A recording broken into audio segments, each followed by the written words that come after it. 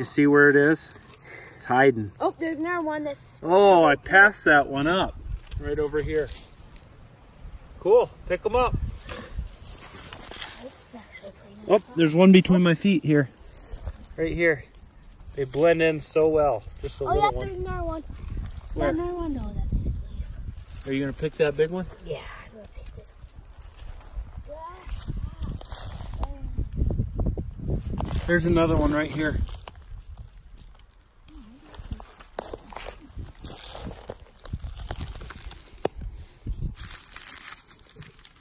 Right here, Cody. Three, four, five. There's some false morels we found. From this angle, you're like, hey, there's a morel. Well, another.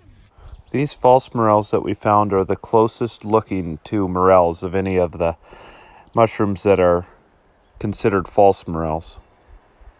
Those guys put right there on the This right here is a false morel, and the way you can tell that they're false morels.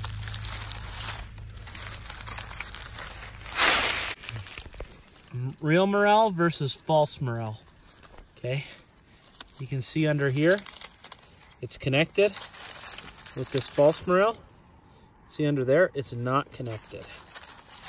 There's a false morel versus a real morel. This is the biggest morel we found so far. Oh, Wait, That's a good one. are we gonna keep this or just throw it out? No, keep it in there. I want to show some people. Look at this one. Ooh, pretty cool. biggest one that I found that was All right, let's keep looking. wasn't the biggest one. So we're home now. And uh, there's two morels. One's a yellow and one's a black morel. And they look fairly different, but they're both true morels. And down here, one of these four is not like the other. But these are uh, different uh, shades. There's two black morels, although that one's pretty light and a yellow morel and then a false morel. And you can already tell right now which one the false morel is because you can see that the cap is not connected. But the way you tell that that's not connected, so here I'll show you.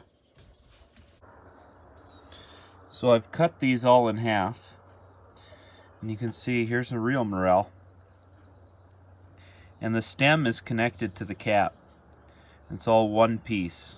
And so whenever you cut these in half, you can tell real easily because you can see that the stem is not connected to the cap on these false morel. And I found other types of false morels that are considered false morels, but this one really looks the closest of, to the morel because you see the pattern on the on the cap is really similar to the pattern on the morel.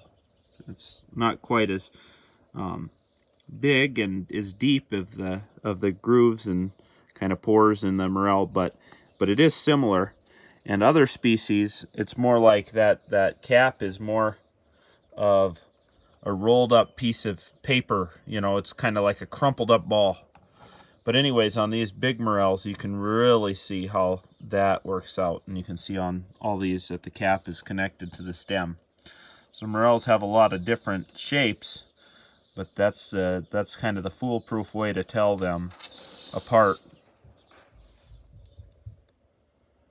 My dad taught me to always cut them in half, and at the time I didn't know why, but then uh, after I've really picked lots of morels and stuff, uh, that whole cutting them in half is for uh, telling that they're really morels, but I can, uh, with all the time I've been in the woods, I can really uh, just identify a false morel from a, mor a true morel uh, any any time. They're they're not really that hard to tell apart.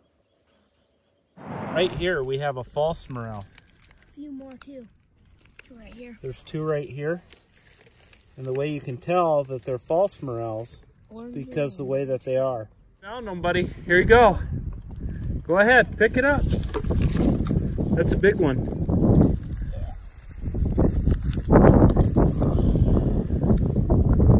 Told ya. Just got to know what to look for. Yep, yeah, I saw that one right there. And then that's a false morel. And then, nope, that's actually a real morel. It is? Yep. From from the distance I looked, it looks like a false morel. There one is. Why don't you pick it?